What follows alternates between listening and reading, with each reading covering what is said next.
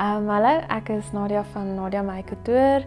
Um ek het my besigheid begin in 2014, maar um die liefde vir klere maak en vir um rokke spesifiek het um gekom van dat ek net so 'n klein dogtertjie was.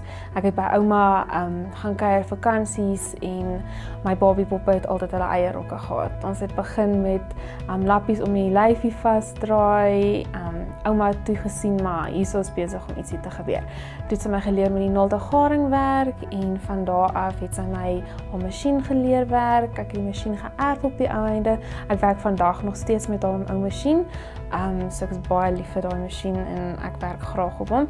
Ja, soos ek gesê het in 2014 het ek begin met die het ek begin met my besigheid. My sussie se troue was die heel eerste troue gewees. Dit was baie spesiaal geweest dat ek haar trourok vir haar kon maak. Um ek moes sewe rokke vir daai troue maak.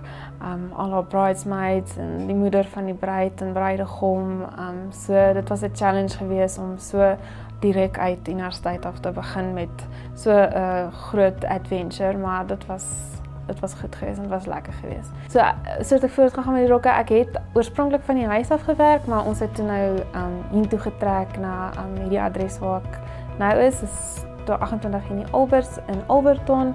Um ons beplan om uit te brei en bietjie nuwe um nuwe persele te kry, maar dit is alles beplanning vir die toekoms. So hier by Nadia My Couture, um doen ons ons meet jou, um, ons vat jou maat volgens jou maat trek ons jou patrone spesiaal vir jou lyfie op. Um met jou patrone doen ons dan twee calico passings. Um so dan die eerste passing steek ons alles af wat afgesteek moet word. Ons teken al die stylyne in, hoe jy jou um bodies voor wil laat lyk, like, 'n prinseslyn, bootnek, um Nou met die tweede passing, maak ons seker dat dit wat ons alles afgesteek het en dit wat ons ingeteken het of laer gevat het of bietjie hoër gemaak het, laat dit reg sit. As dit alles reg is, dan gaan ons oor na jou lining toe. As jou lining reg en perfek sit, dan begin dit exciting raak. Want dan begin ons bietjie um, met lappe speel. Ons gaan jou kante al gepin hê. Um, en dan kan jy vir my sê jy wil bietjie meer kant hierso hê, wil bietjie minder kant daarso hê. Um en um as ons dit klaar gepas het, dan staan sien ons mekaar vir so rukkie nie sodat ek kan begin vaswerk aan jou rok aan al jou kante en al jou detailtjies en goeders.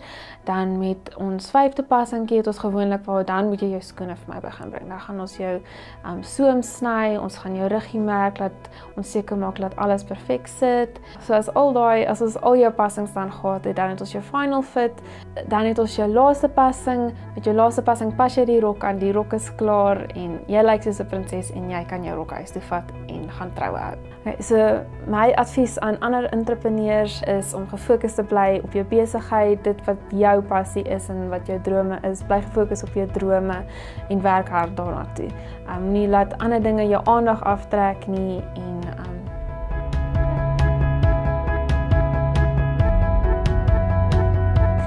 as jy een van my mooi trourokke wil hê vir julle droomtroue, is jy welkom om my te kontak by 0825723180. Um ek het ook 'n webwerf waar jy kan gaan kyk na ander werk um wat ek al gedoen het. Dis www.nadiamay.co.za. Ek is ook beskikbaar op Facebook en Instagram en my handle is Nadia May Couture.